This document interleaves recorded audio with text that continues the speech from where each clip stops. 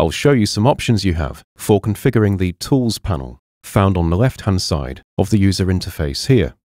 To start, we can go to View, Customize Tools. This reveals a large number of tools that can be added to the panel.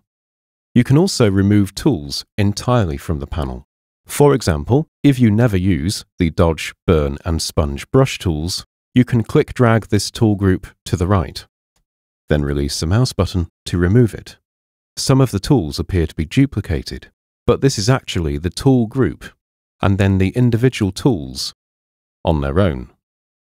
So, as another example, I might remove the Paintbrush tool group, which also contains the color replacement and pixel brush tools, then replace it with a single paintbrush tool.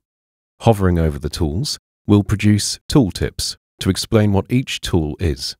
And you can also find a tool divider at the very end here. I might click drag this down here and create a separate division for some of the filter tools. Then I could add the motion blur tool, the zoom blur tool, and the displacement map tool down here if I use them regularly. I'll also quickly show you the column options. By default, the tools occupy a single column. I can change this to a higher number, such as 2, and now, when I close the Tools configuration, notice that the primary and secondary color option down here has expanded, whereas with a single column, it is more compact. You can also go to View, Dock Tools, to toggle whether the Tools panel is docked or floated.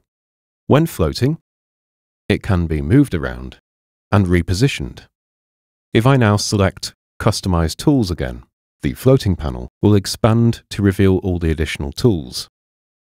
Finally, I can set my number of columns back to 1, then click Reset down here to restore the original tool's layout. I'll click Close, then choose to dock my Tools panel to return to the default layout. And there we go, just a quick look at how to customize the Tools panel in Affinity Photo. Thank you for watching.